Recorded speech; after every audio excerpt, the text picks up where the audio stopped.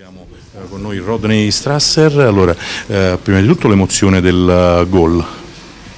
No, mm, mi sono contento per il gol, però non, non, non, sono contento perché abbiamo perso ancora eh, tutto quello. Ti aspettavi questa reazione della Juve Sabia nel secondo tempo? Eh, Roma Castelli Romani aveva tenuto fino al ventesimo della ripresa, anzi venticinquesimo della ripresa, poi nel finale qualcosa per voi non è andato mentre la Sabia ha trovato due gol. No, non è andato bene perché anche per fortuna, però io sono contento per l'atteggiamento della squadra perché non abbiamo mollato per niente fino alla fine.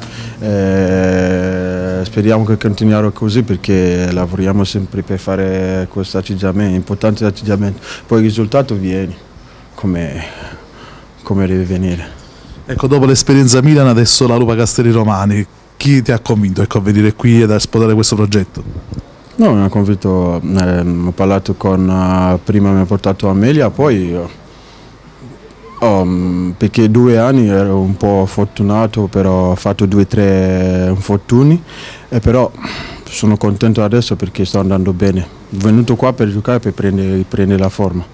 Ecco, guardando un po' le partite della Lupa Castellino Romani eh, e guardando la classifica, se uno guarda le partite sa che effettivamente questa Lupa Castellino Romani non merita questa classifica, eh, però purtroppo è un dato di fatto che si è vinto solo contro la Paganese, oggi stavate sfilando il colpaccio, poi i minuti finali vi hanno condannato. Sì, per quello, eh, ormai io non guardo più la classifica.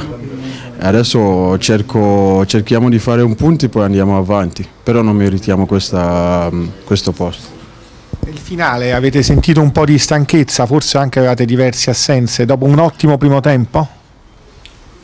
Secondo me non avevo sentito mh, la stanchezza, avevamo, avevamo abbassato un po', per quello, però per fortuna come ho detto quando viene il gol non si può, non si può fare niente.